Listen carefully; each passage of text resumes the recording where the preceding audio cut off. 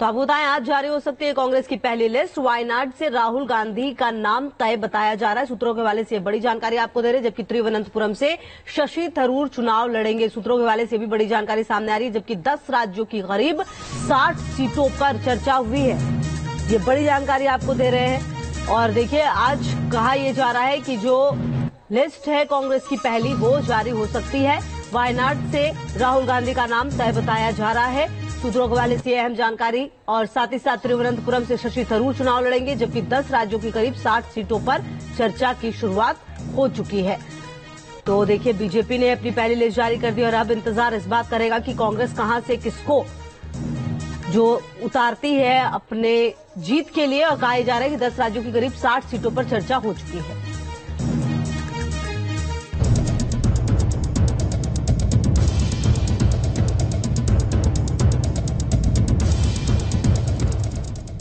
अमेठी में राहुल गांधी के सामने स्मृति ईरानी नाम की दीवार खड़ी है, जिन्होंने राहुल को 2019 में उनके ही घर से बेदखल कर दिया था। कांग्रेस की केंद्रीय चुनाव समिति की मीटिंग में कांग्रेस सांसद राहुल गांधी की लोकसभा सीट फाइनल हो गई है। कांग्रेस की पहली लिस्ट में राहुल गांधी का नाम शामिल होगा।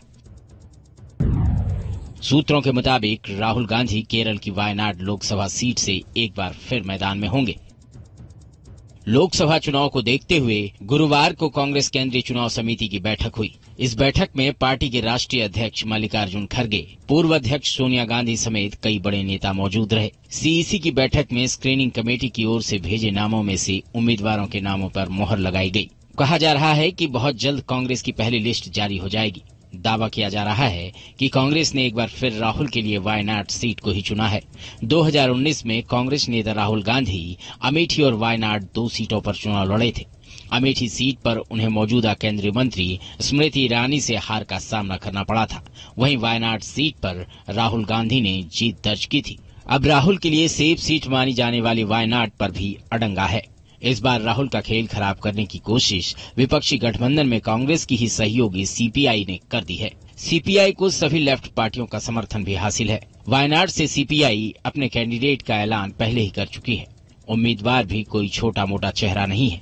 सीपीआई यहाँ से पार्टी महासचिव डी राजा की पत्नी एनी राजा को टिकट दे चुकी है। Party has announced its, its candidates for all these four uh, constituencies, and uh, Wayanad, uh, uh, my name is there. Party has unanimously decided, and uh, I have uh, agreed on that. Kerala में left की अगुवाई वाले LDF और कांग्रेस की अगुवाई वाले UDF की लड़ाई जग ज़ाहिर है लेकिन देश में गठबंधन के बावजूद सीपीआई ने राहुल गांधी की सीट तक को नहीं छोड़ा लेफ़्ट के नेता राहुल को सलाह भी दे चुके हैं कि वो वायनाड छोड़ दें राहुल जी और कांग्रेस को सोचना चाहिए।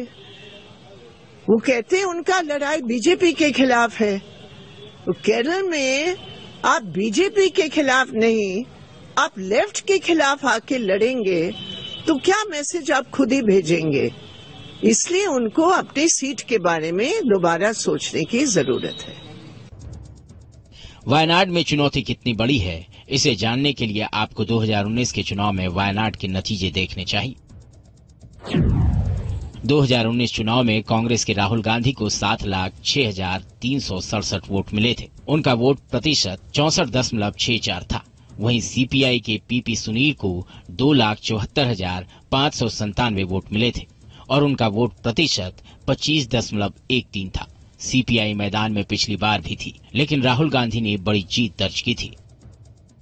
इस बार गठबंधन के बावजूद सीपीआई ने बड़े और मज़बूत चेहरे को सामने उतारकर ये साफ़ कर दिया कि राहुल को कोई वॉक ओवर नहीं मिलेगा।